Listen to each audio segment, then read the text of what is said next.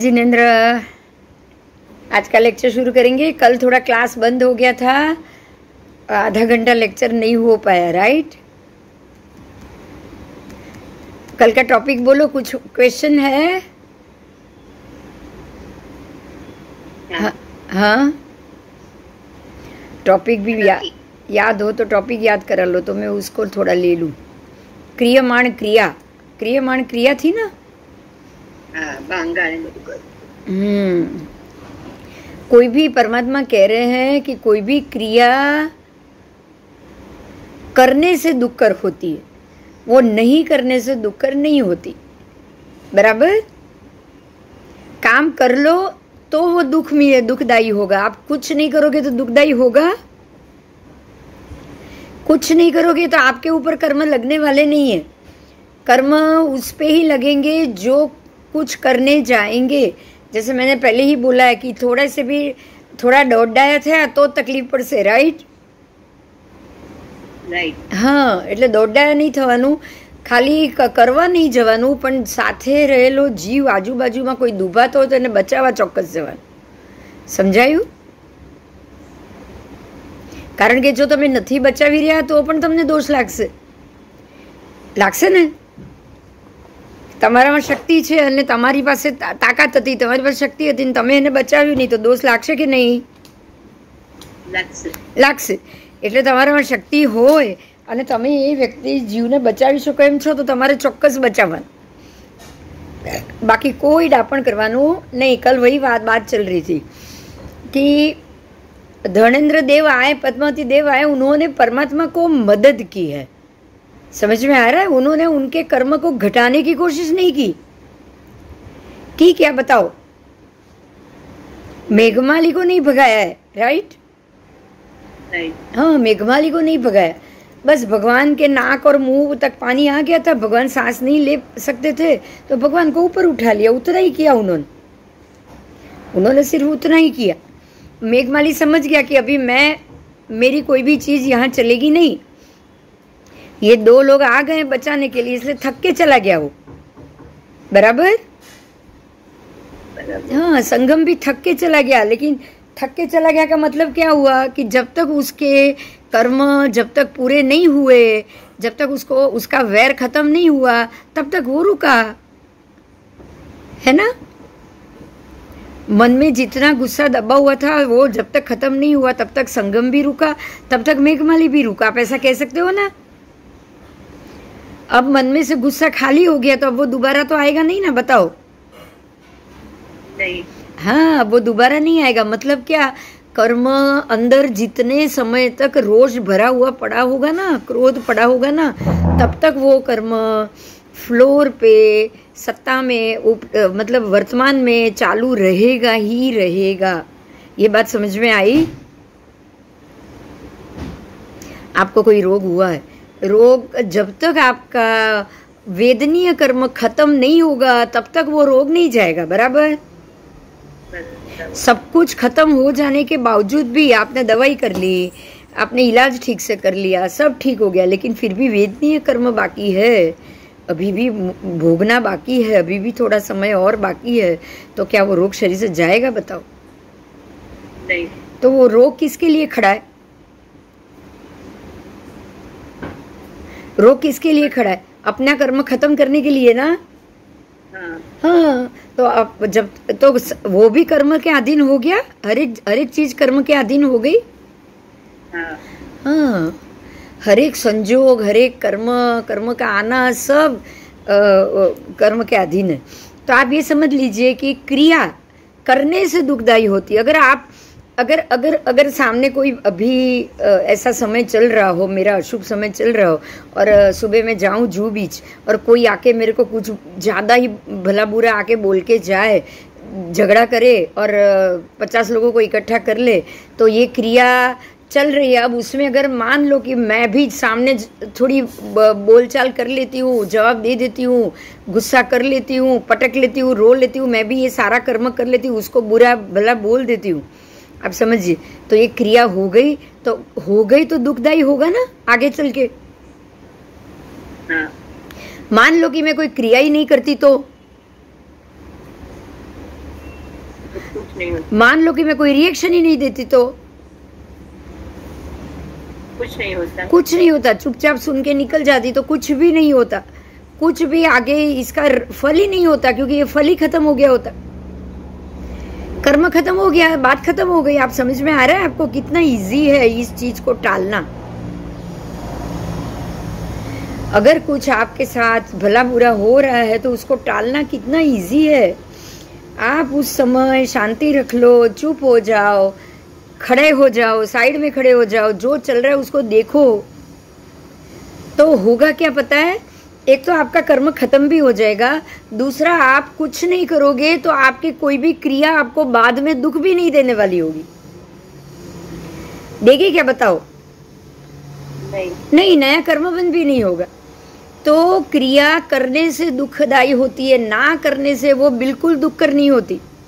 आप कुछ नहीं करो आप बिल्कुल शांति रहो चुप रहो तो आपको कोई भी की हुई आपकी क्रिया से बाद में भी दुख नहीं होगा। दुख है ना वो कृत्य है। दुख है वो स्प- स्प- स्पृश्य है। दुख क्रियमाण कृत है। मतलब आपके द्वारा की हुई क्रिया ही दुख है। प्राण, भूत, जीव और सत्व क्रिया कर कर के वेदना का अनुभव करते हैं। ध्यान दीजिए। प्राण हो, जीव हो, भूत हो, सत्व कोई भी जीव, कोई भी जीव क्रिया कर करते हुए ही, क्रिया कर कर के ही दुख का अनुभव करते हैं। अगर ये प्राण अ, सत्व भूत क्रिया करना ही बंद कर दे ना बिल्कुल निश्चल हो जाए बिल्कुल ध्यान मग्न हो जाए तो वो सारे अपनी दुख की परंपरा को खत्म कर सकता है। और ये ध्यान मग्न कौन हो सकता है? पंचेंद्रिय संगनी तिरियंच और मनुष्य के बगैर आप ध्यान मग्न हो पाओगे सोचो। नहीं। आप नहीं हो पाओगे। आप हो ही नहीं सकते। बाकी के एक इंद्रिय से चौर इंद्रिय तक को पता ही नहीं कि शांत कैसे रहा जाएगा। अथवा ये भी नहीं पता कि शांत रहने से मेरी ये क्रिया खत्म हो जाएगी। उसको पता है क्या? नहीं। उसको नहीं पता है। उसको नहीं पता है। और संगनी पंचेंद्रिय को पता है तो वो अपने अंदर ही पड़े हुए क्रोध और उसके कर्म के कारण वो शांति रख नहीं पाता है। वो शांति भी क्यों नहीं रख पाता है? क्योंकि अंदर कर्म पड़े हैं भोगना बाकी है। भोगावली में नया कर्म भोगना बाकी है इसलिए वो शांति रख ही नहीं पाएगा। रख पाएगा बताओ? नहीं। नहीं जिनको भोगावली बाकी होगी नहीं रख पाएगा। जिनकी भोगावली खत्म हो रही है वो रख पाएगा? हाँ। वो रख पाएगा। तो भोगावली खत्म होने के लिए आपको धीरे धीरे आदत भी लेनी पड़ेगी ना? हाँ। और समझना पड़ेगा ना कि जब चुप रहने से कर्म खत्म हो रहे हैं तो मैं क्यों बोल रहा हूँ? बोलो। अगर आप मेरे चुप हो जाने से या मेरे कुछ ना करने से ही कर्म खत्म होता है आज ये एक सूत्र बना दो इस चीज़ को। क्या बनाओगे आप? एक सूत्र। सूत्र बना दो कि मेरे कुछ नहीं करने से ही मेरे कर्म खत्म हो सकते हैं बस। जीव स- क्रिया कर करके वेदना का अनुभव करता है। क्रिया कर करके कर करके उसको खाने की क्रिया करनी पड़ेगी वो करता रहेगा तो जीव मारता रहेगा। उसको चलने की क्रिया करनी पड़ेगी वो चलता रहेगा तो भी जीव मरते रहेंगे। वो बोलने की क्रिया करेगा वो बोलता रहेगा तो भी जीव मरेंगे। वो कमाने की अर्थ उपार्जन की क्रिया करेगा तो कमाने से भी जीव मरेंगे। मरेंगे कि नहीं बोलो? वो खाने की क्रिया करेगा उससे भी जीव मरेंगे। उपवास क्यों बोले हैं ये बताओ। चलो। परमात्मा ने साढ़े बारह वर्ष में खाली तीन सौ उनचास दिन ही खाना लिया है आहार किया है। क्यों? जरूरत थी क्या नहीं पण हिंसा रोकवा वही ना कि अगर वो खाने की क्रिया करेंगे तो भी जीव मरेंगे समझ में आ रहा है हाँ आप खाना खा रहे हो तो एक इंद्रिय को मारे बगैर तो खाना खाओगे भी नहीं नहीं એક ઇન્દ્રિય તો મરેંગે ही મરેંગે વાયુ કાંઈ મરે અપ કાંઈ મર્યા તેવું કાંઈ મર્યા અને પૃથ્વી કાંઈ મર્યા મર્યા કે નહીં બધા અપ કાય પૃથ્વી કાય તેવું કાય વાયુ કાય વનસ્પતિ કાય પાંચે મર્યા કે નહીં બોલો? અને કોઈ ત્રસકાય બી આવી જાય અંદર ઈયળ વિયળ આવી ગઈ તો? કોઈ ધનેડ આવી ગયા તો ત્રસકાય બી મર્યા કે નહીં? હા. તો પછી શું આ યોગ્ય છે ખાવું પીવું? ના એટલે ભગવાન ઉપવાસ કરે છે. બાકી શું કારણ છે ઉપવાસ કરવાનું? બોલો. कम खाएँगे कम जीव मरेंगे कम प्रायश्चित जल्दी मोक्ष होगा बराबर? बराबर। ठीक है तो जीव क्रिया कर कर के ही फिर खाने की क्रिया सोने की क्रिया उठने की क्रिया बैठने की क्रिया चलने की क्रिया। फिर कमाने की क्रिया, पैसा लाना, कमाने जाना ट्रैवलिंग करना तो सब क्रिया कर कर के ही वेदना का अनुभव करता है। क्रिया की तो अब जितने जीव मरे, उसके लिए उसको वेदना भोगनी पड़ी। अब क्रिया कितने प्रकार की है? परमात्मा ने क्रिया बताई। क्रिया दो प्रकार की है। कितनी? दो प्रकार। दो प्रकार एक संयमी की क्रिया और एक असंयमी की क्रिया। बहुत इजी हो गया आपको अभी समझना। हुआ कि नहीं? एक सम्यक दृष्टि जीव की क्रिया और एक असंयमी। असंयमी मिथ्यात्व की क्रिया। दोनों में फ़र्क है होगा ना? हाँ। आज नरक में श्रेणिक राजा कृष्ण राजा रावण के अलावा बहुत सारे जीव होंगे वो सारे असंयमी होंगे बराबर? बराबर। उसकी क्रिया और संयमी की क्रिया फ़र्क पड़ेगा ना?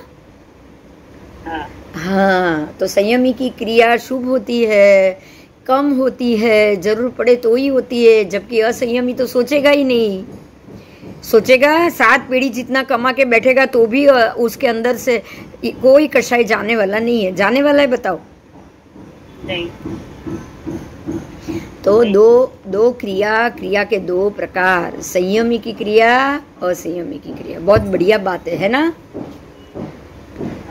हाँ तो यहाँ दो नाम दिए हैं एरियापथी की संप्राय की। तो एरियापथी की किसकी क्रिया होगी? संयमी। संयमी जीव जो अष्ट प्रवचन माता बोलते हैं ना जिसको हम? हाँ। अष्ट प्रवचन माता जो साधु भगवंत है वो अष्ट प्रवचन माता का पालन करते हैं ना? हाँ। करते हैं। और जो मिथ्यात्वी है वो? उनको कोई जैना धर्म या अहिंसा का पालन करना है? बोलो। नहीं नहीं करना है तो उनकी सांप्राय की हुई? हाँ। संप्राय का अर्थ क्या? संप्राय का अर्थ क्या? पता है किसी को?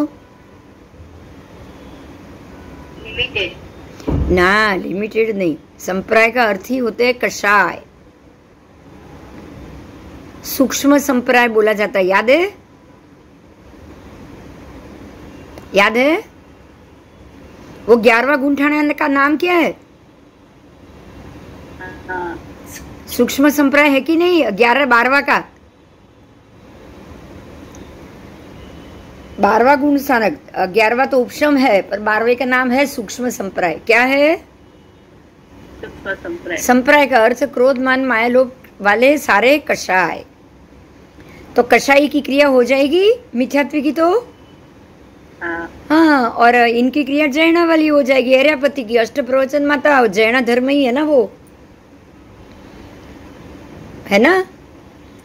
हाँ। हम्म चलो दो क्रिया की बातें एक जीव एक समय में दो क्रिया करता है। ऐसा कौन कहते हैं?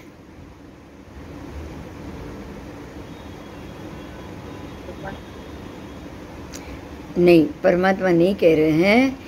इस प्रकार एक जीव एक समय में दो क्रिया करता है। वो दो दो क्रिया क्या होती है? सुनिए।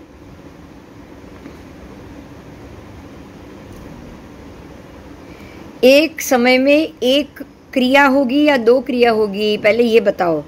आपको क्या लग रहा है? क्या होगी? एक। एक। पता है परमात्मा ने एक बात समझाई।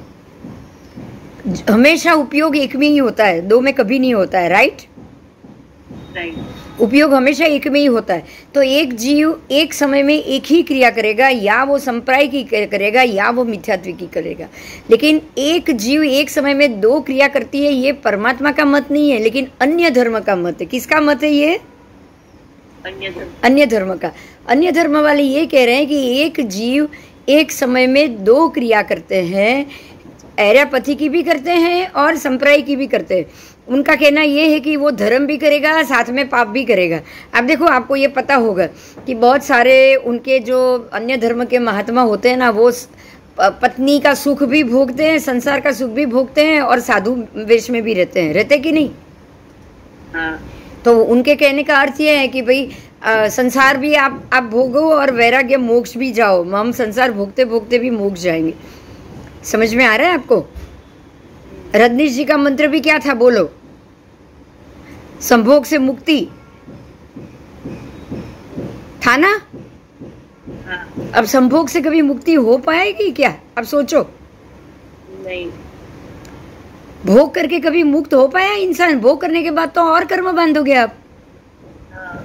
तो कर्म कर्म बाँध के ज़्यादा बांधो ज़्यादा बांधो ज़्यादा बांधो तो मोह मुक्त हो गए या बंधन में आओगे? बंधन में आओगे ना? हाँ। तो एक साथ में संप्राय की भी करो और एक साथ में एरियापति की भी करो तो क्या पॉसिबल है? नहीं। नहीं तो ये सारा अन्य धर्म वाले कह रहे हैं कि वे न्यून अधिक आख्यान करेंगे भाषण करेंगे प्रज्ञापन करेंगे प्ररूपण करेंगे। मतलब ये इस प्रकार से व्याख्यान करेंगे। करेंगे कि नहीं बताओ? रजनीश जी ने खुद नहीं किया है जैन धर्म से बाहर निकलने के बाद। किया है कि नहीं किया है? वो पहले जैन में ही जैन में ही दीक्षा ली थी। बाद में उन्होंने कहा कि आराम से खाओ पियो भोगो स्वाद ज़्यादा लो वो कार्य ज़्यादा करो उससे आप उब जाओ और छोड़ दो। ये पॉसिबल है क्या बताओ? नहीं। उब जाओ तब छोड़ सकते हो ये भव में। दूसरे भव में क्या होगा? सोचो ये सोचने जैसी बात। आप आप अगर आज ये भव में रोज खीर खाओगे ध्यान से सुनिए रोज आप एक कटोरा खीर खाओ तो एक साल के बाद उब उब जाओगे आप राइट राइट एक साल तक खा पाओगे एक साल के बाद क्या करोगे? भाई अब खीर नहीं खाना है अब आप मुझे खट्टा चीज़ दो अभी मीठा बहुत हो गया अब मेरे को नहीं भाता है। तो एक साल के बाद आप उब गए और आपने बंद किया लेकिन एक साल तक जो उसकी लोलुपता थी जो आपकी इच्छा थी जो कांक्षा मोहनीय था वो तो जमा हुआ कि नहीं? हाँ। वो अगले जन्म में खड़ा नहीं होगा क्या? होगा। होगा। अब सोचिए, रजनीश जी ने ये बात बताई कि भोग करो, इतना ज़्यादा भोग करो, अक्रांतिया की तरह भोग करो, भोग करते रहो करते रहो, आपका मन भर जाए और आप उसको छोड़ दो। तो अब इतना भोग करोगे, पाँच साल, दस साल, पंद्रह साल, बीस साल, उसके बाद आप उससे उबोगे।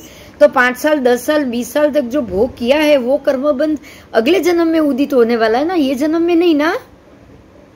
नहीं। तो ये जन्म में आप उब जाओगे मैं समझती हूँ उसमें मनाही नहीं है आप ये जन्म में ज़रूर उब सकते हो। लेकिन दूसरे जन्म में जब इतना कर्मबंध भोगना बाकी होगा तब तो आप उबने वाले नहीं हो तब तो आप जितना ज़्यादा भोगोगे दूसरे जन्म में भोगते जाओगे और नया बंद करते जाओगे करते जाओगे कि नहीं? हाँ। इससे हुआ क्या? आपने नया कर्म बंद किया राइट राइट आप इसी भव में नया बांधते ही रहे इतना बांधा है, इतना बांधा है अब सौ जन्म तक नहीं छूटेगा। अधिक भोग कर रहे हो अधिक व्यक्ति से भोग कर रहे हो पंद्रह सौ पचास सौ लोगों से भोग कर रहे हो वो सौ लोगों से भोग करने के बाद सौ भोग में तो सबके साथ आपको कर्मों की गांठें छोड़ने के लिए जाना पड़ेगा कि नहीं? जाना पड़ेगा। तो वो सौ लोगों से भोग के लिए आप जाओगे तो और कितने हज, हज़ार भव आप बाँध बांधोगे नए बताओ? बहुत। बहुत तो क्या एक भव में उबने के लिए आप वही कार्य बार बार करोगे? अब सोचो आप। क्या ये सही है? नहीं। ये कार्य से उबने के लिए आप ये कार्य कर रहे हो?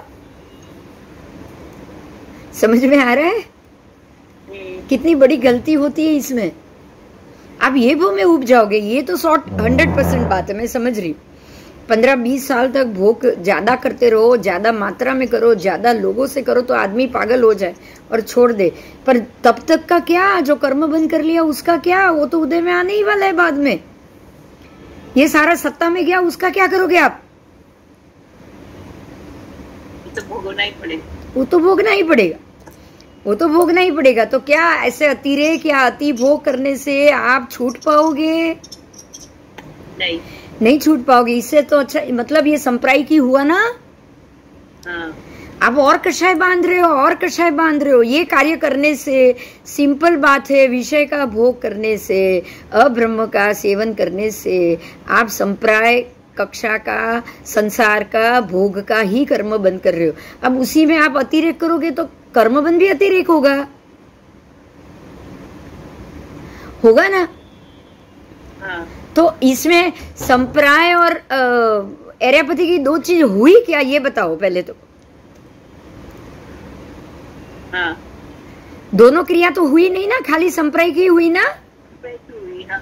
एरापति की तो हुई नहीं अगर आप अब्रह्म का सेवन ब्रह्मचर्य का सेवन कर रहे हो आप किसी से कोई भोग नहीं कर रहे हो कोई ऐसी क्रिया नहीं कर रहे हो और आप शांति से ध्यान मग्न रह के धीरे धीरे अपने कर्म घटा रहे हो तो आप खाली एरियापति की कर रहे हो? अब संप्रदाय की हो रही है क्या? नहीं। नहीं हो रही। मतलब एक समय में एक ही उपयोग रहता है किसी भी जीव का। जब वो एरियापति की बाँध रहा है तब वो संप्राय की नहीं बांधता।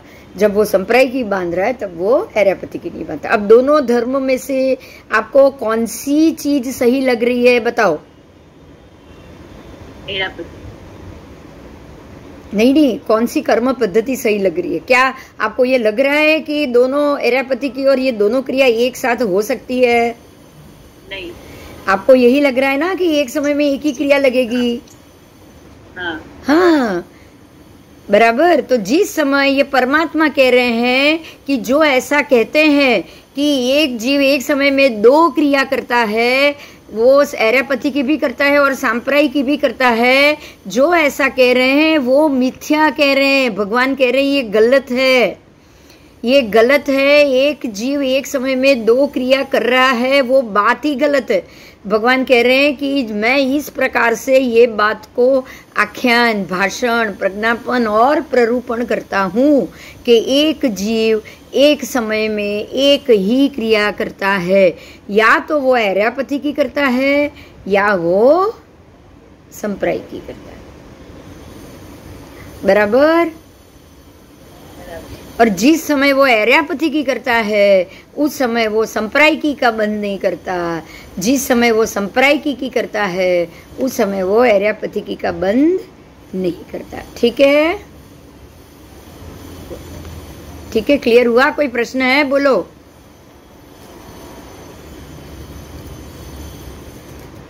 प्रश्न है कि समझ में आ गया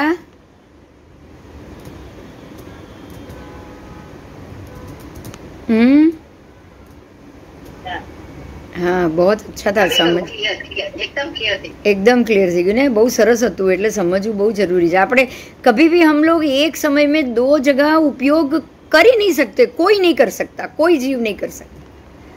बराबर? हम्म कभी नहीं कर सकता। आओ।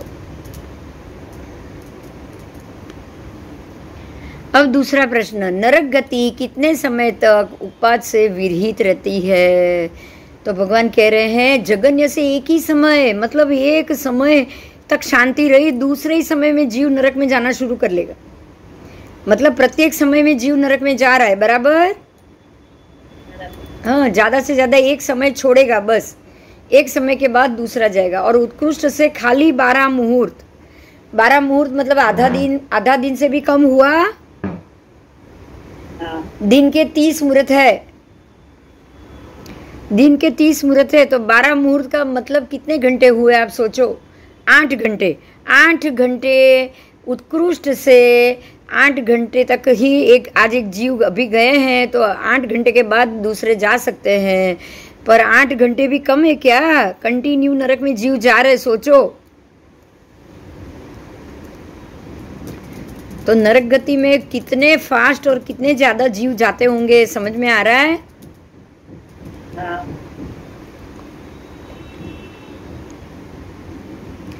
चलो, अब भगवान राजगुरु नगरी में आए हैं। और परिषद बैठी है वहाँ परमात्मा ने धर्म कहा और धर्म में श्वासोच्छ्वास पद कहा है। अब हम आप जो दूसरा शतक पे आ गए देखिए भगवती का पहला शतक पूर्ण हुआ। बोलो श्री महावीर स्वामी भगवान की। गौतम स्वामी गणधर भगवंत की। जय। आपका पहला शतक खत्म हो गया भगवती का। अब आप दूसरे शतक में आए हो। तो दूसरे शतक में उच्छ्वास निश्वास की बात की है, श्वासोच्छ्वास पद आ रहा है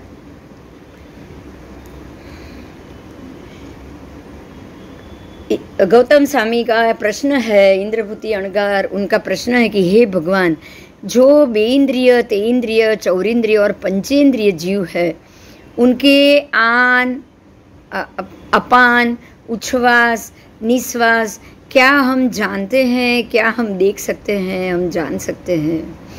बेन्द्र तेन्द्र चौरेंद्रिय, पंचेंद्र की बात की है और पृथ्वी, अप तेउ वायु, वनस्पति सब एकेंद्रिय जीव है। उनके भी आन, अपान, उच्छ्वास, निश्वास को हम ना जान सकते हैं, ना देख सकते हैं। तो क्या ये जीव आन, अपान, उच्छ्वास और निश्वास करते हैं क्या? भगवान को ये प्रश्न पूछा। देखिए बे इंद्रिय के तो श्वासोच्छ्वास आप देख सकते हो। बे इंद्रिय ते इंद्रिय चौरिंद्रिय उनके श्वास निश्वास उनका खाना पीना वो पानी पीना आएगा बे इंद्रिय तो चलते चलते वो वो हिलेगा डुलेगा तो आपको पता चल जाएगा ये ज़िंदा है राइट राइट ये ये खा पी रहे हैं ये श्वास श्वास कर रहे हैं जो खा रहे वो छोटे से बड़े भी हो रहे हैं लेकिन एक इंद्रिय का तो हमको मालूम ही नहीं है। आप एक इंद्रिय के अंदर के एक जीव का शरीर ही नहीं देख सकते हैं तो उस वो सांस ले रहा है आपको कैसे मालूम पड़ेगा? वो बड़ा हो रहा है कैसे मालूम पड़ेगा? बराबर? तो भगवान ने जवाब दिया कि हाँ ये एकेंद्रिय के जीव भी आन अपान श्वासोच्छ्वास और निश्वास करते हैं। तो अब ये प्र, अगर करते हैं तो किस चीज़ का करते हैं? पता ये शंका आएगी ना कि किस चीज़ का वो खाएँगे कैसे करेंगे? वो कैसे श्वासोच्छ्वास लेंगे?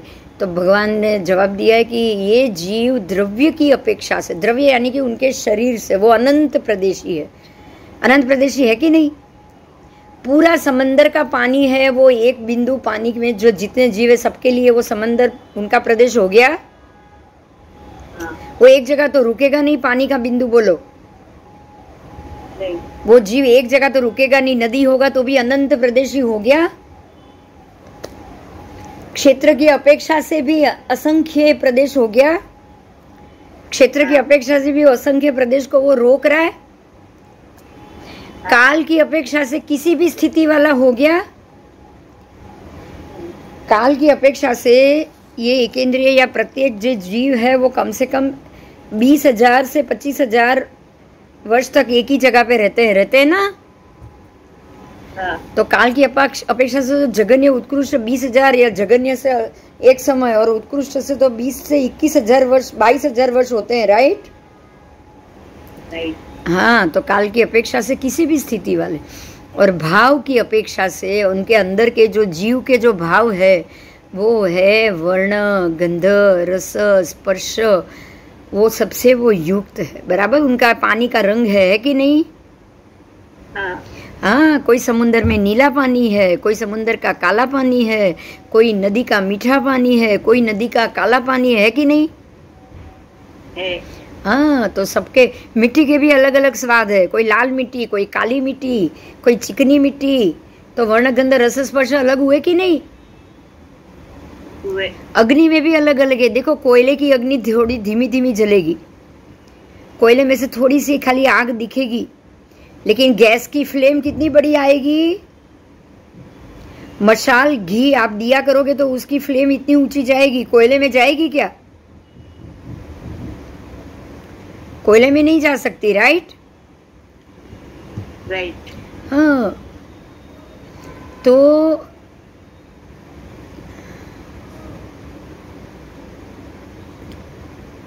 इस प्रकार से भाव की अपेक्षा से ये वर्ण गंध रस स्पर्श युक्त पुद्गल द्रव्य का आन अपान उच्छ्वास और निश्वास ज़रूर करते हैं।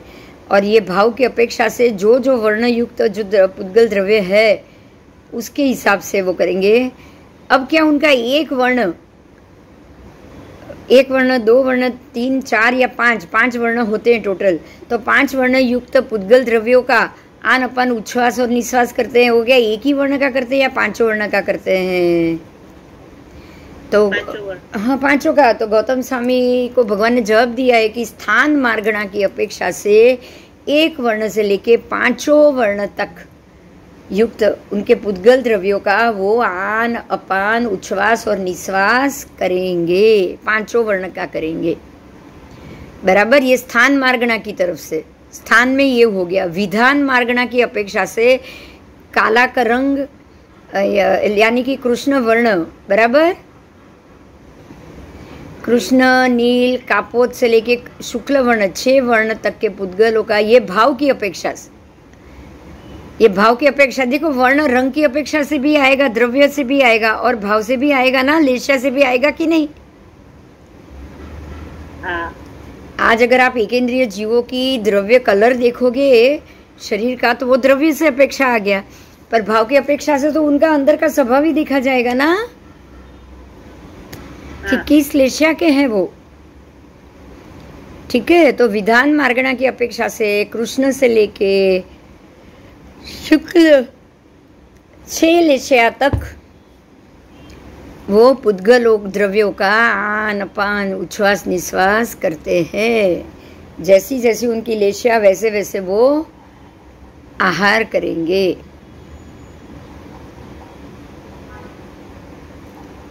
बराबर? बराबर। अब ये जीव कितनी दिशा से करेंगे? तो छह दिशा हो जाएगी। व्याघात ना हो तो छह दिशा। एक जीव यहाँ बैठा है तो वो नीचे से भी आहार करेगा साइड से भी चारों दिशाओं से करेगा ना और चारों दिशाओं से।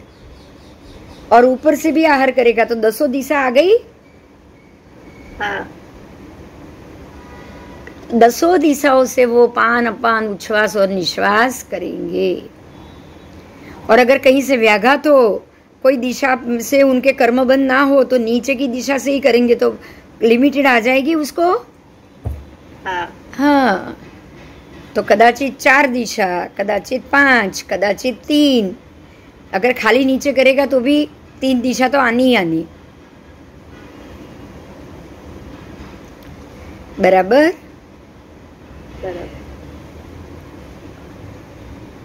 आओ.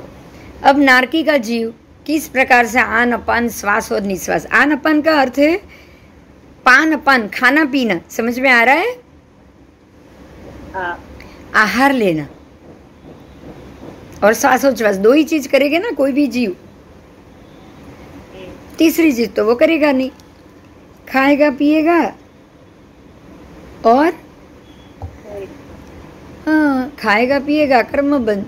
उच्छ्वास और निश्वास, दो ही, चार ही चीज़ करेगा वो खाली।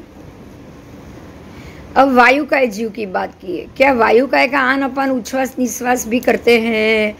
बोलो करते कि नहीं? आप क्या बोलोगे?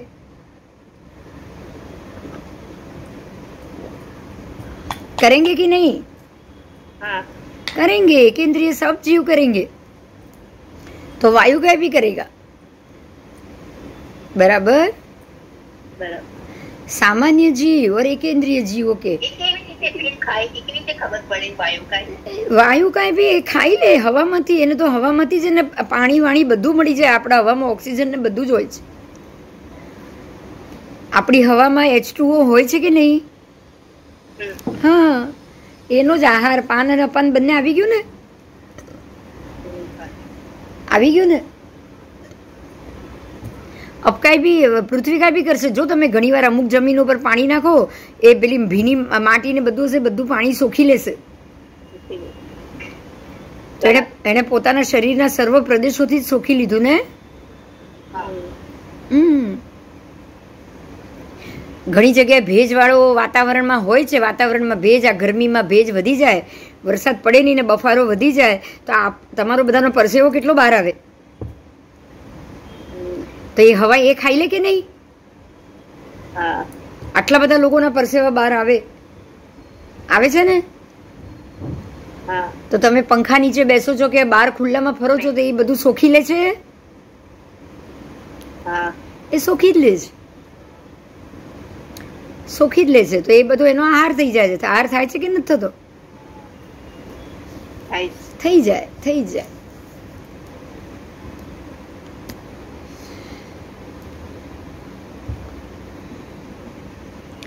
तो वायु का भी इस प्रकार से लेते हैं। तो अब वायु काय का सवाल आया एक और, कि क्या वायु का एक जीव वायु काय में ही अनेक लाख बार मर मर के वापस उत्पन्न होते हैं? भगवान कह रहे हैं हाँ गौतम, वायु का एक जीव वायु काय में ही अनेक लाख बार मर मर के वापस वहीं पे उत्पन्न होते हैं।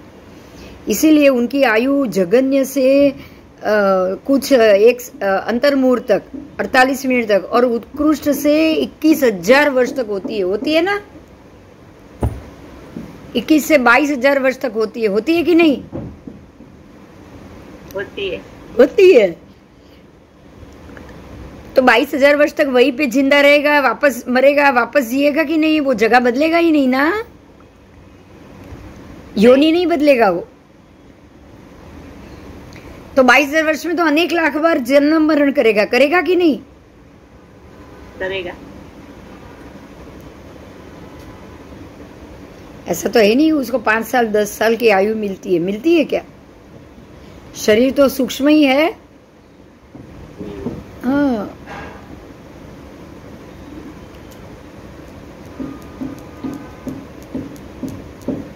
आओ।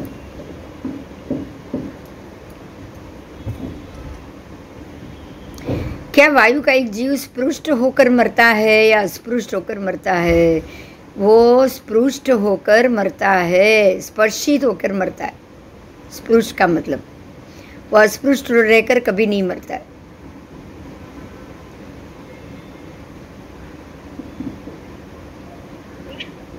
क्या वायु का एक હા પૃષ્ઠ એટલે શું? શું કીધું? પૃષ્ઠ ને અપૃષ્ઠ શું કીધું? સ્પૃશ એટલે સ્પર્શિત શરીરમાંથી પ્રાણ છૂટે ને હા.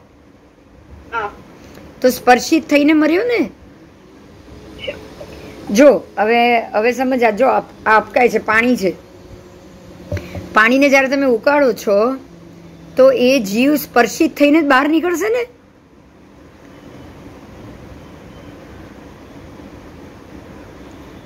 પાણીને તમે મેં મેં આમાંથી લીધું આમાં પાણી લીધું તો આમાંથી જીવ સ્પર્શિત થઈને પાણીની અંદર જ રહ્યો છે ને?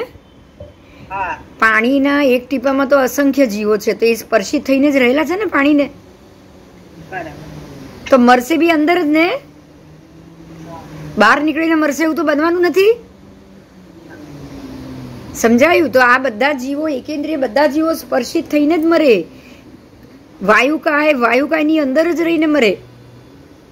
બહાર નીકળીને મરે એવું ન થાય. સમજાયું? સમજાય.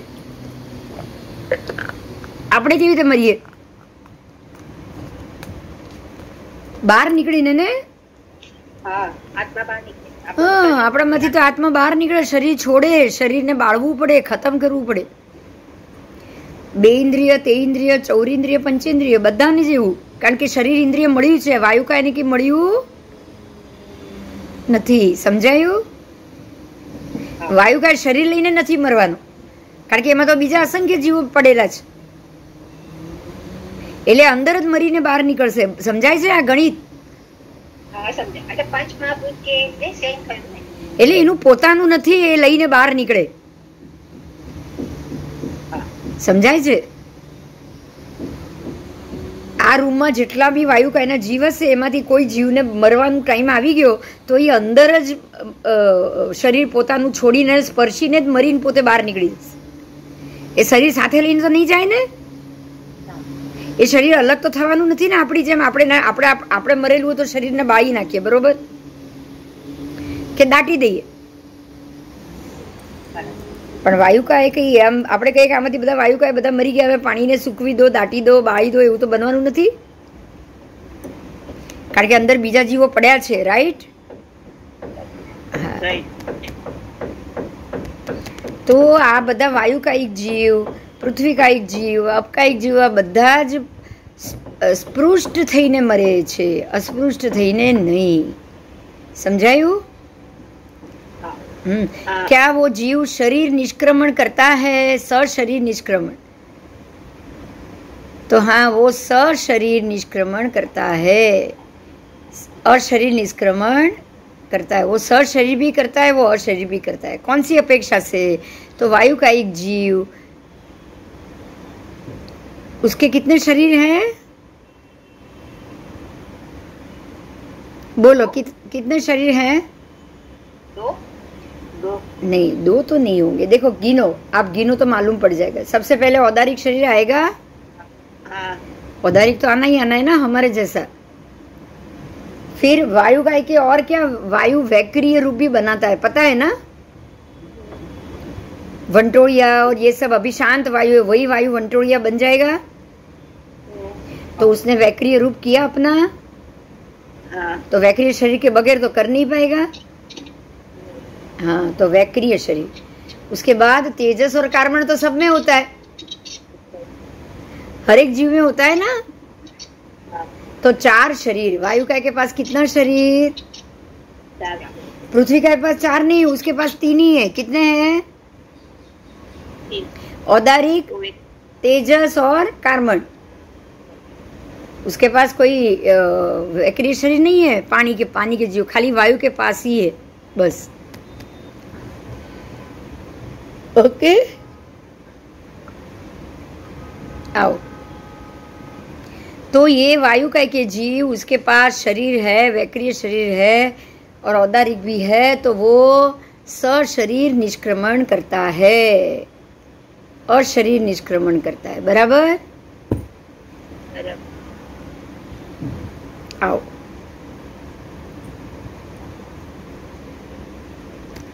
अब मृत आदि निर्ग्रंथ पद, अभी साधु महात्माओं का पद है ये, ध्यान से सुनो। जिसने भव का निरोध नहीं किया हो समझाए से? भव का निरोध नहीं किया। याचित भोजी निर्ग्रंथ, जो मांग के खाने वाले ऐसे साधु, गोचरी वाले साधु उसने भव का निरोध नहीं किया और भव के विस्तार का भी निरोध नहीं किया। भव का निरोध कैसे होगा बताओ? भव के विस्तार का निरोध कैसे होगा बताओ? ब्रह्मचर्य। नहीं भव का निरोध मतलब आपकी भव गिनती शुरू हो जाए। तभी निरोध होगा ना? भव गिनती कब बंद होगी? तो निरोध होगा तभी बंद होगी? हाँ नए भाव नहीं पड़ेंगे जितने हैं उतना खत्म करो। आप लिमिटेशन में आ गए हाँ कब? सम्यक दर्शन आए तब। क्यों इतनी बड़ी गलती कर रहे हो? भव गिनती कब होगी बंद सम्यक दर्शन। सम्यक दर्शन के बाद लिमिटेड हो गए ना। भगवान को पहले ही नौसार के भव में सम्यक दर्शन मिला। तो सत्ताईस भव लिमिटेड हो गए। हाँ। हाँ तो अब सोचो कि भगवान ने अपने भव का निरोध कब किया? पहले सम्यक दर्शन के बाद। कब किया? कैसे किया? सम्यक दर्शन सम्यक दर्शन के बाद। तो अब भव के विस्तार का भी निरोध हो गया उससे? हाँ। अब विस्तार नहीं होगा। अब आपका भव अटक गए सत्ताईस में ही मोक्ष नक्की। पार्श्वनाथ भगवान को नेमनाथ नेमनाथ भगवान को नौ भव में ही नक्की। है ना? आदिनाथ भगवान को बारह में ही नक्की सम्यक आने के बाद। तो ये सबने भव का निरोध किया। क्या बोलोगे? भोग का निरोध। और भव के विस्तार का निरोध। अगर सम्यक दर्शन नहीं आया तब तक तो उनका भव बहुत ही विस्तार में था। हाँ। आप सोचो खाली यही उत्सर पीढ़ी में आदेश्वर भगवान ने अपने भव का निरोध कर लिया। मतलब उन्होंने ये मुक्ति कर ली मुक्ति प्राप्त कर ली। तो इससे पहले अनंत उत्सर पीढ़ी तक वो भटके हैं कि नहीं भटके हैं? तो ये अनंत उत्सर पीढ़ी तक वो निरोध नहीं कर पाए इसीलिए भटके ना? हाँ। और जब निरोध किया बस अब बारह भव तेरह बारहवें में भव में आपका मोक्ष। तो वो निरोध होने से ही हुआ ना? बोलो। हाँ।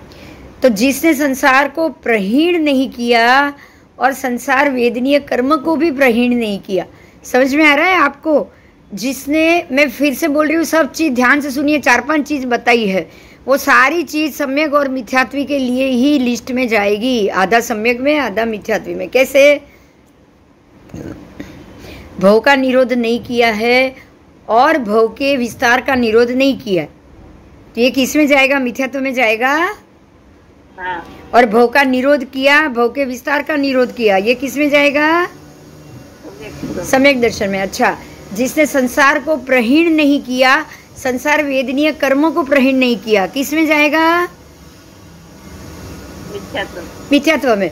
जिसने संसार को प्रहीण कर लिया जिसने वेदनीय संसार वेदनीय कर्म को ही प्रहीण कर लिया वो? सम्यक। सम्यक दर्शन। जिसने संसार को व्युच्छिन्न नहीं किया व्युच्छिन्न मतलब छिन्न भिन्न व्युच्छिन्न नहीं किया और संसार वेदनीय कर्म को भी व्युच्छिन्न नहीं किया है। वो कहाँ जाएगा? मिथ्यात्व। में। और जिसने अपना प्रयोजन सिद्ध जिसने संसार वेदनीय कर्म को व्युच्छिन्न कर दिया और संसार को ही व्युच्छिन्न कर दिया है वो सम्यक सम्यक दर्शन में। बराबर जिसने अपना प्रयोजन सिद्ध ही नहीं किया है और प्रयोजन पूर्ति के लिए कोई भी करणीय कार्य को नहीं किया। कहा जाएगा? मिथ्यात्व। मिथ्यात्व में अपने आपने कोई अपना सिद्ध रखा ही नहीं प्रयोजन ही नहीं रखा है कि आपको क्या करना है। आप बस आते हैं आएँगे। चलो जी लो जो मिले वो खा पी लो और वहाँ से मरने के बाद समय आ जाए तब मर लो। तो आपने कुछ भी किया क्या? नहीं। प्रयोजन पूर्ति के लिए बोलो। नहीं। नहीं। तो वो ऐसा ऐसा करने वाला जो सम्यकदर्शी नहीं है, जो मिथ्यात्वी है, जो अभी भी भव भ्रमण में भटक रहा है, जिसने भव का निरोध नहीं किया, भव के विस्तार का निरोध नहीं किया, संसार को प्रहीण नहीं किया, और वेदनीय कर्म को भी प्रहीण नहीं किया, संसार को विच्छिन्न नहीं किया, संसार वेदनीय कर्म को भी उसने विच्छिन्न नहीं किया, अपना प्रयोजन सिद्ध नहीं किया, प्रयोजन पूर्ति के लिए वो संसार में भटकता रहेगा। तो संसार वेदनीय कर्म को भी जिसने विच्छिन्न नहीं किया है, जिसने अपना प्रयोजन सिद्ध नहीं किया, प्रयोजन पूर्ति के लिए करणीय कार्यों को भी उसने सिद्ध नहीं किया। समझ में आ रहा है? तो क्या वो फिर से तिरियन चादी रूपों को ही प्राप्त करता है? ये प्रश्न है। अब समझ में आ रहा है? अगर आप लिमिटेशंस में नहीं आओगे और आप ये सारी चीज़ संसार को ना प्रहीण करोगे, ना उसको शॉर्ट करोगे, ना भो के विस्तार को घटाओगे, आप ये कुछ नहीं करोगे। तो बार बार परमात्मा कह रहे हैं हाँ गौतम बार बार याचित भोजी, निर्ग्रंथ भी, याचित भोजी जो दीक्षा ली है जिसने, दीक्षा ली है और दीक्षा लेने के बाद अगर वो अपने संसार का ये दीक्षा लेने के बाद की बात है दीक्षा नहीं लेने वाला तो ऐसे ही भटकता रहेगा समझ में आ रहा है? हाँ। हाँ वो तो ऐसे भी भटकता रहने वाला है। पर आपने दीक्षा ले ली है दीक्षा लेने के बाद भी ना आप भव का निरोध करोगे ना भव के विस्तार का निरोध करोगे। कुछ नहीं करोगे संसार को प्रहीण नहीं करोगे वेदनीय कर्म को प्रहीण नहीं करोगे मतलब घटाओगे नहीं। संसार को विच्छिन्न नहीं करोगे उसके उसको छिन्न भिन्न नहीं करोगे। आप अपने राग द्वेष कषाय को तार तार नहीं करोगे, ऐसे ही बंधा हुआ मुट्ठी में आप रखोगे, सारे सबको जीवित रखोगे। आप समझ रहे हो मैं क्या बोल रही हूँ? संसार से मुक्ति का प्रयोजन सिद्ध नहीं करोगे, प्रयोजन सिद्ध मुक्ति के लिए कोई करणीय कार्य भी नहीं करोगे तो बार बार बार बार तिरियन चादी इथंथ इथंथ यानी कि चौरासी लाख जीव योनि सबको बार बार प्राप्त करोगे। समझ में आया? भगवान क्या कह रहे हैं ये? जीव संसार में क्यों भटकता रहता है, समझ में आया? खाली संसार को ना घटाने से, भव का निरोध नहीं करने से उसको उसको पता ही नहीं है भाव को कैसे घटाया जाए तो निरोध भी नहीं करेगा। पता होगा तो भी मौज मज़ा करता रहेगा। मेरे को क्या घटा के क्या करना है? मानता ही नहीं कि भव का निरोध होता है पर भव मानेगा ही नहीं कहाँ से निरोध करेगा सोचो। समझ में आ रही है बात? हाँ। प्रभु को मानेगा तो निरोध करेगा प्रभु को मानेगा ही नहीं है कहाँ से वो उसको बचाने की या घटाने की कोशिश करेगा बोलो। आत्मा अंदर है वो ही नहीं मानेगा। आत्मा मानेगा तो प्रभव मानेगा ना? हाँ। आत्मा मानेगा तो प्रभु नहीं मानेगा। यहाँ से जीव कहाँ जाता है किसने देखा है? तो क्या होगा समझ रहे हो आप?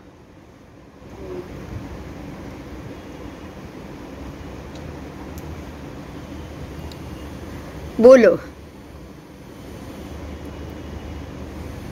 अब ये किस शब्द के द्वारा वाच्य होता है? तो भूत शब्द के द्वारा प्राण शब्द जीव शब्द सत्व शब्द। आप आत्मा को कैसे बोलोगे? अंदर पड़ा है वो क्या है? अंदर पड़ा है वो भूत प्राण जीव सत्व सब चीज़ है कि नहीं? हाँ। अच्छा भूत प्राण जीव सत्व ये तो सामान्य शब्द है। अब उसको आप अगर उसको आप बहुत ही अच्छा या बढ़िया या मोक्ष से जल्दी छूटने वाला समझना चाहो तो क्या शब्द दोगे? विघ्न बोलोगे ना? विघ्न यानी ज्ञानी। अंदर पड़ा है वो ज्ञानी है। और वेद अंदर पड़ा है वो वेद है। वेद का ज्ञान है उसको। क्या बोलोगे? वेद वेद अंदर अंदर पड़ा है वो वो वेदी है। तभी वो स्त्री वेद पुरुष वेद नपुंसक वेद धारण कर रहा है। अब उसको निर्वेदी है अंदर पड़ा है वो कौन है? निर्वेदी है। अब निर्वेदी को वापस निर्वेदी कराना होगा। अगर उस वो वेद के मामले में उसको समझ में आएगा तो ही वो निर्वेदी होगा ना? हाँ। कैसे निर्वेदी हो पाएगा बताओ? जब उसका उसको ज्ञान होगा वेद का ज्ञान होगा तो ही वो निर्वेदी होगा ना? स्त्री वेद पुरुष वेद नपुंसक वेद अगर इसका ज्ञान ही नहीं है तो आप आप अपने आत्मा को ये तीन वेद से मुक्त करा पाओगे बताओ? नहीं। नहीं करा पाओ। नहीं। नहीं करा पाओ। बराबर? अब वो किस अपेक्षा से प्राण कहा जाएगा? भूत कहा जाएगा? जीव कहा जाएगा? किस अपेक्षा से?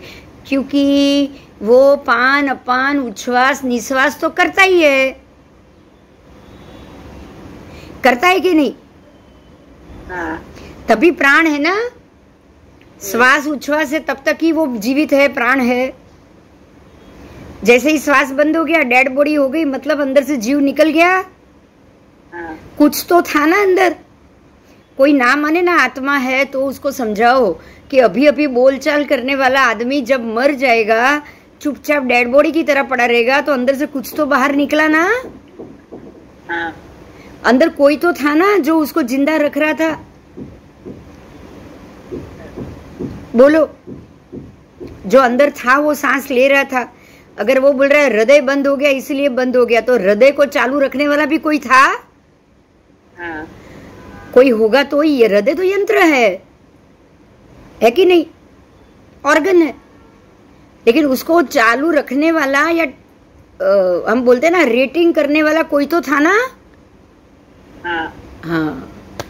तो ऐसे भी साबित हो जाता है कि अंदर कुछ है शरीर में जो डेड बॉडी बनाता है ये शरीर को। अभी मैं बात कर रही हूँ मेरे को मेरे से बुलवाता है मेरे से ज्ञान लेने की कैपेसिटी देता है। जब मैं अंदर से वो बाहर निकल गया तो डेड बॉडी हो जाएगा अब वो नहीं ज्ञान ले पाएगा।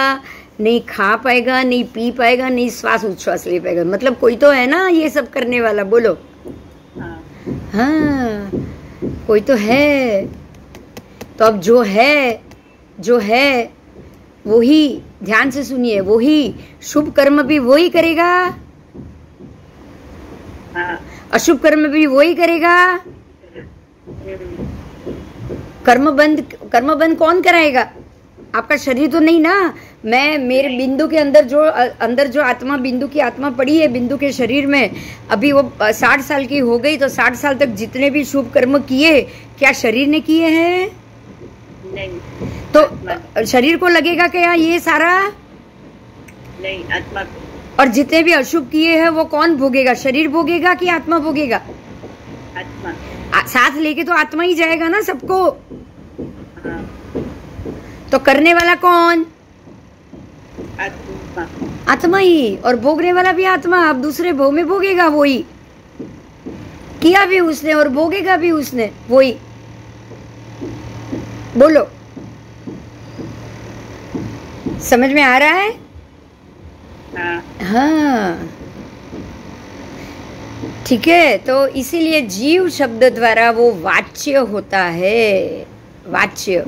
वो अशुभ कर्म भी करता है शुभ कर्म भी करता है वो एक- एक- हेलो हाँ हेलो अच्छा આપે કે નહીં કે આત્મા નિરંજન નિરાકાર નથી નિરંજન નિરાકાર નથી બેન આ બધા કર્મ આત્મા જ કરે છે અને આત્મા જ ભોગવે છે રાઈટ બરાબર હા, નિરંજન નિરાકાર એનો સ્વભાવ છે. એ સ્વભાવ, એનો સ્વભાવ નિરંજન નિરાકાર થવાનો બી છે અને એનો એનો સ્વભાવ આ બધા વિષાદયુક્ત બનવાનો પણ છે. હવે સમજી લેજે, એક વાત સમજી લેજે. અત્યારના તારો સવાલ બહુ સરસ છે. સાંભળી લે આ જગ્યાએ. કેટલા બધા આત્મા છે જે એના પેલા શરીરમાંથી કે એના એના જંકશનમાંથી ક્યારે બહાર નીકળીને મોક્ષ જવાના જ નથી? તો એ લોકોના તો આત્મા નિરંજન નિરાકાર છે જ નહીં.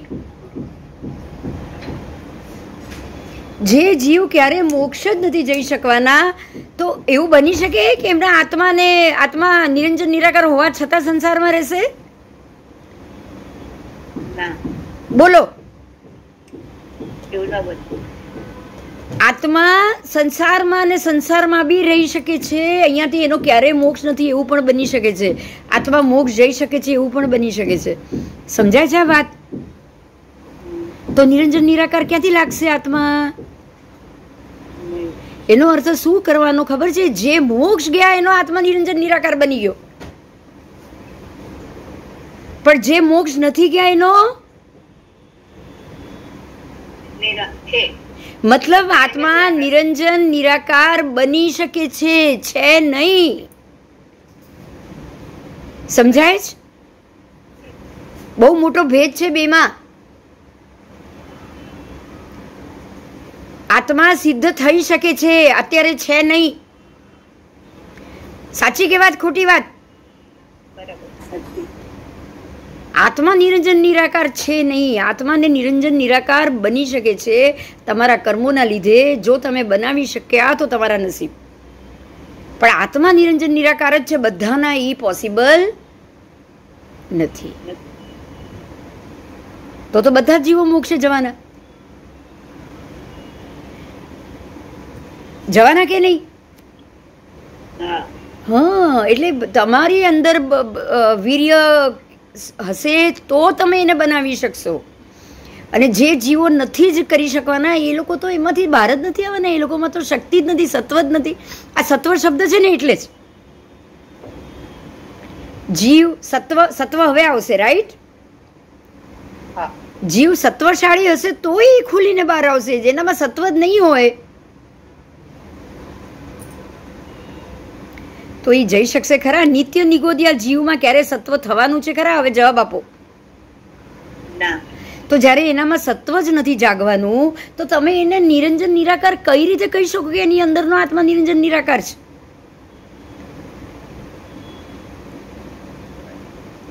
એ તો હંમેશા સંસારી રહેવાનો છે આ- એ જીવ તો. ક્યારેય સંસારનો ત્યાગ નથી કરી શકવાનો. તો નિરંજન નિરાકાર તો બનવાનો જ નથી. તો હવે હવે ધ્યાનથી સાંભળો. એ જ બની શકે ને જે હોય?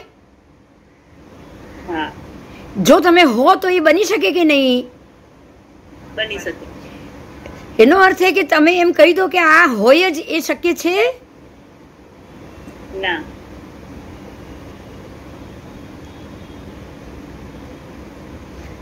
પંચેન્દ્રિય મનુષ્ય અભવી જીવ સંઘની પંચેન્દ્રિય છે. એ પણ નિરંજન નિરાકાર પોતાના આત્માને નથી કરી શકતો. ચાલ. જે નવ ગ્રવે એક સુધી પહોંચી ગયો, સાડા નવ પૂર્વનો જ્ઞાની પણ પોતાના અભવી હોવાના કારણે પોતાના આત્માને નિરંજન નિરાકાર નથી કરી શકતો. એનો અર્થ શું થયો ખબર છે? એની આ ક્રિયા તો એના પ્રત્યેની થઈ ગઈ નહીં. સાડા નવ પૂર્વનું જ્ઞાન લેવાની ક્રિયા, ચારિત્ર પાલનની ક્રિયા.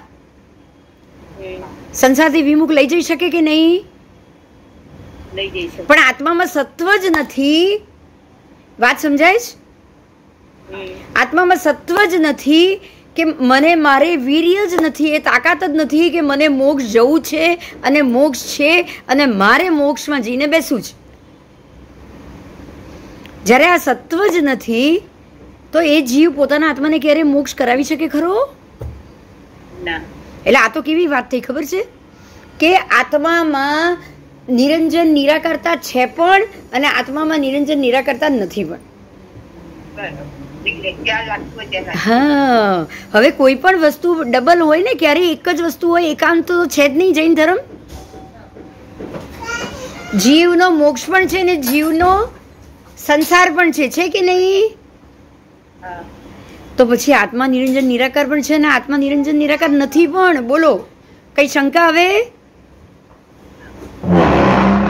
થઈ શંકા હવે બોલો.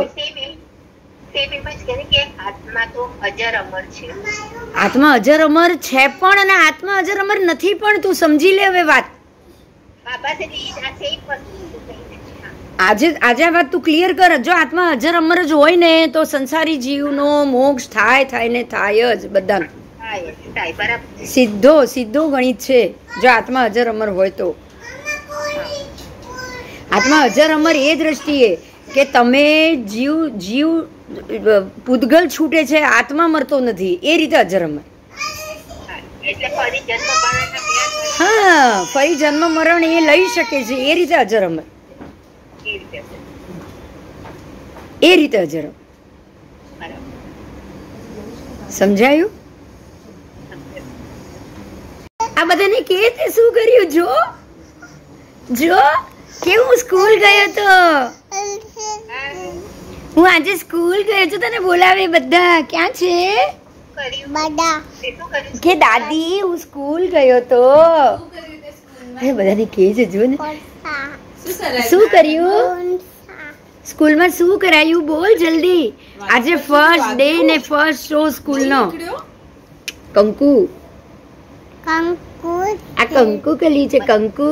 કંકુ? ચાંદલો કર્યો છે સ્કૂલમાં. કેમ? ચાઈ ચાઈ કરી મને. કેમ કર્યું? ને? કેમ. કે હું સ્કૂલે ગયો ને એટલે. સ્કૂલમાં ટોયઝ હતા? ટોયઝ હતા સ્કૂલમાં? જો મજા આવી દાદી પૂછે મજા આવી? કે બહુ મજા આવી કે તો? કાલે જવાનું છે? કાલે જવાનું છે સ્કૂલે? ઘણા નહીં આવે કઈ પણ ના કેવું જવાનું છું કે અહીંયા હા. આજે પહેલો દિવસ હતો સ્કૂલનો ટોયઝ આપ્યા હતા તો આ- આપણે એક જ રીતે एक ही जगह एक ही सिस्टम में आत्मा के लिए एकांत नियम कभी भी नहीं हो सकता है क्लियर हो रहा है आज हाँ क्लियर हो गया ना बहुत अच्छे से हो गया नहीं तो संसारी जीव, ऐसे बहुत से जीव है, अभवी जीव, जाति भव्य जीव, भगवान ने बोले हैं, जितने जितने प्रकार के 28 जो जीव होते हैं ना भव्य, उसी 28 प्रकार के अभवी जीव भी बताए। तो ये तो पॉसिबल ही नहीं होता ना। अगर निरंजन निराकार आत्मा होता तो वो तो हर एक का आत्मा जाके निरंजन निराकार बन सकता था। बन सकता था कि नहीं? हाँ पर ये एकांत नियम है और एकांत नियम तो पॉसिबल है ही नहीं। है ना? हाँ। तो जो करा सकते हैं अपने आत्मा को मोक्ष वो ही सत्वशाली और वीर्यांतराय का वो अंत करेंगे बाकी नहीं। बराबर? आपको ये बता दूँ कि बाकी के जो अभवी जीव है ना वो तो आठ कर्म बांधते भी नहीं है। सात ही बांधते हैं। आठवां आयु आयु कर्म का तो बंद होता ही नहीं जो जाति भव्य है वो। है ना? हाँ। हाँ जाति भव्य का अभवी नहीं जाति भव्य का। जाति भव्य तो आयुष्य कर्म बांधते ही नहीं। जो जाति में उसी में रहना है खाली स्थल- स्थलांतर करते रहेंगे बस। तो वो आयुष्य तो बाँध ही नहीं सकते। तो अगर वो आयुष्य कर्म का बंध उनको पड़ेगा ही नहीं तो 48 मिनट तक तो उनकी आयु रहेगी भी नहीं ना कभी भी। बोलो रहेगी क्या? नहीं। रहेगी ही नहीं। तो हर 48 मिनट वो पर्याप्ति बांधेंगे 48 मिनट तक नहीं बंधी तो वापस वो फिर से मर के वापस उसी जगह जन्म ले लेंगे। लेंगे ना? हाँ। वो आयु बांधते भी नहीं है वो। खाली सात ही कर्म का बंद होता है उनका। अगर उनको, क्योंकि उनको वो ये जाति से बाहर ही नहीं निकलना है, आयु कैसे बांधे आयु खत्म हुआ तो बाहर निकलेंगे ना। आप समझ सकते हो ये बात। निगोद के, नित्य निगोदिया के जीव की आयु नित्य निगोद में खत्म होगी तो वो बाहर निकलेंगे ना। समझ में आ रहा है? हाँ वहाँ की आयु ही खत्म नहीं करनी है उनको। तो आयु कर्म का तो बंद पड़ना ही नहीं है। और आयुष्य कर्म का बंद जिसमें नहीं पड़ेगा वो कितने उनका वीर्य होगा क्या अंदर? वीर्यांतराय को वो तोड़ पाएँगे क्या? नहीं। तोड़ ही नहीं पाएँगे और नया नया बनता ही जाएगा उनको। ठीक है? हम्म। हम्म।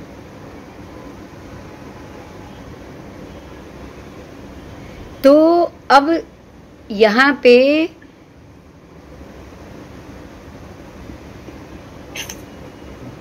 परमात्मा ने जवाब दिया कि याचित भोजी निर्ग्रंथ, जिसने भव का निरोध किया है। समझ में आ रहा है? एक तो पहले तो आप सम्यक दर्शन के बाद वैरागी बन जाओ। वैरागी बन जाओ, याचित भोजन करने वाले साधु बन जाओ।